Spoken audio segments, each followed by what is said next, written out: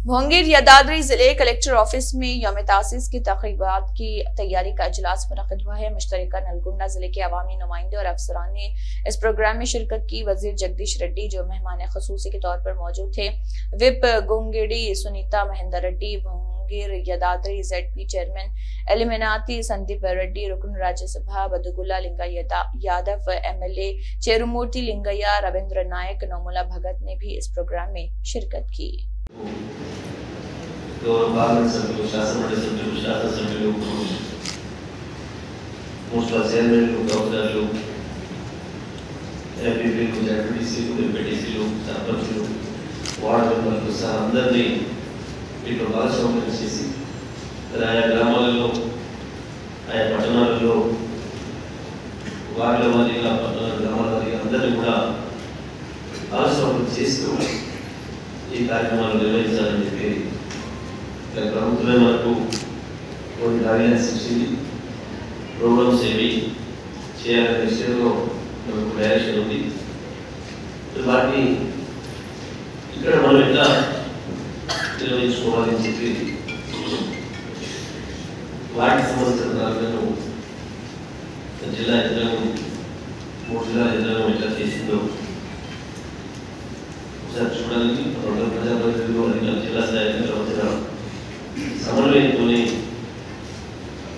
ఈ కార్యక్రమాలు ముందుకు సాగాలని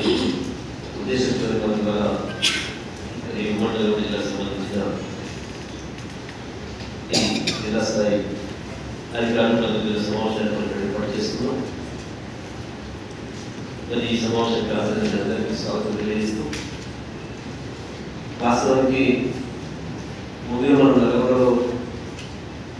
నిర్వహించుకొని అక్కడ మండల స్థాయి తరగతులు కూడా నిర్మాణం చేయగలుగుతున్నాం కానీ ఈ మోడీలో మనం ఇంత నూతన కలెక్టరేట్ ప్రారంభం చేసుకున్నాం. తప్పకుండా ఇక్కడ జిల్లా స్థాయి సమావేశం కూడా నిర్వహించడం బాగుంటుందనే కార్యక్రమాలు మనం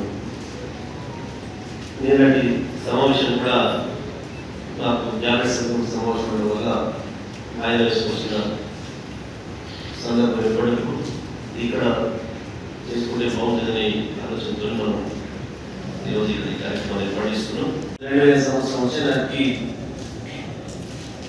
పరాకాశం చేరుకొని తెలంగాణ పదవి ఉచ్చరించవద్దు శాసనసభలో అని చెప్పి నిషేధించేంత అహంకారపూరిత స్థాయికి ఆనాటి పాల్గొన్నారు కూడా దానికి అప్పటికే అనేక సందర్భాలు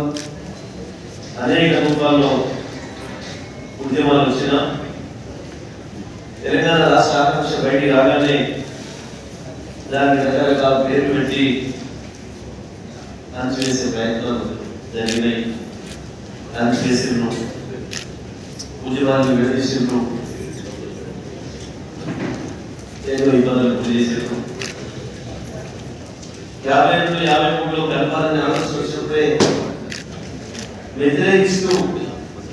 ఏదైతే అనుమానాలు వ్యక్తీకరించారో ఉన్న వాళ్ళు అవన్నీ అక్షరం నిజమైన పూర్తి విమర్శకు గురైంది. తెలంగాణ ప్రాంతం వెనుకబడ్డ ప్రాంతం కాదని బలవంతంగా వెనక్కి నెట్టేయబడ్డ ప్రాంతం అని మాకు అవకాశం వస్తే అభివృద్ధి ఎట్లా చేయాలో చేసి చూపిస్తామని